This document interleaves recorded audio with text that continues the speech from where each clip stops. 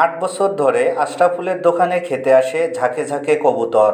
দিনাজপুর থেকে আমাদের প্রতিনিধি এস এম মাসুদ রানার ডেস্ক রিপোর্ট। আট বছর আগে দোকানের বারান্দায় একটি অচেনা কবুতর এসেছিল।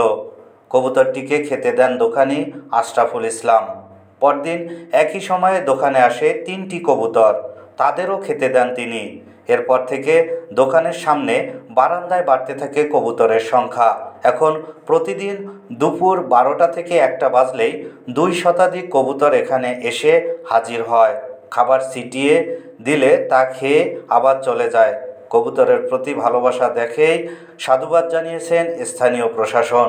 প্রতিদিন এমন দৃশ্য দেখা যায় দিনাজপুরের বিরামপুর পৌর শহরের নতুন বাজার এলাকায় দয়াল ভান্ডার নামের সবজির আড়তে। আড়তের মালিক ব্যবসায়ী আশরাফুল ইসলামের বাড়ি পৌরসভার মাহমুদপুর মহল্লায়।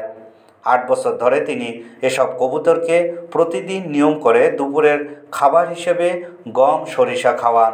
টিনের চালের উপরে বিদ্যুতের তারে পূর্ব পশ্চিমে লম্বা সারিতে বসে আছে অনেক কবুতর। বাকবাকুম বাকবাকুম শব্দে মুখর আশপাশ। আশরাফুল যখনই হাতে খাবার থলে নিয়ে দোকানের বারান্দায় আসেন তখন ওই কবুতরগুলো তাকে ঘিরে ধরে। খাবার ছিটিয়ে দিলে পাল্লাপাল্লি করে তা খেয়ে নেয়।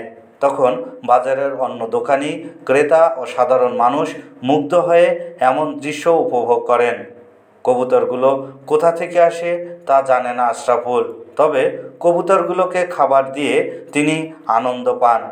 এসব কবুতরকে খাওয়ানোর জন্য প্রতিদিন তাকে দেড় থেকে দুই কেজি গম ছিটাতে হয়। কবুতরগুলো টিনের চালে ঝাঁকে ঝাঁকে এলে কখনো আশরাফুল নিজে খাবার দেন কখনো দোকানের কাজে তিনি ব্যস্ত থাকলে দোকানের কর্মচারী খাবার দেন। খাওয়া শেষে কবুতরগুলো চলে যায় যে যার গন্তব্যে। কবুতরগুলোকে এভাবে খাওয়াতে পেরে মনের মধ্যে একটা ভালো লাগা কাজ করে কবুতর প্রেমী আশরাফুল ইসলামের।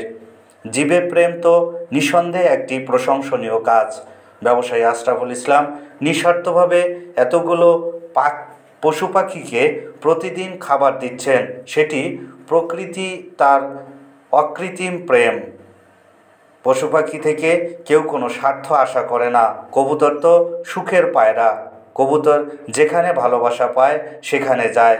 বিরামপুর পৌরসভার সুযোগ্য ও জননন্দিত পৌর মেয়র অধ্যক্ষ আক্কাস আলী এ সময় রিপোর্টার বাংলা টিভিকে বলেন, আশরাফুল ইসলাম একজন ভালো মানুষ এবং সফল ব্যবসায়ী।